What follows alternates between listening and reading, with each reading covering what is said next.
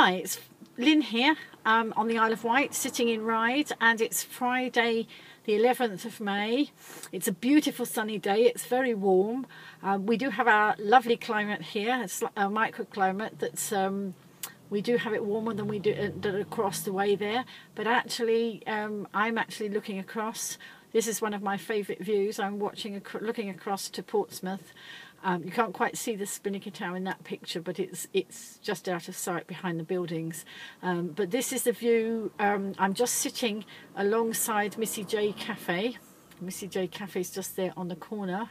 Uh, this corner just by the giveaway sign and if you sit in the cafe you can also see this view um, across the way and it's beautiful and there on the corner is unique to antique which is also one of my Wightbuzz members so both those shops there um, but, you know, just want to share with you a little bit of my lovely island. You can see it's a busy and people coming up and down here.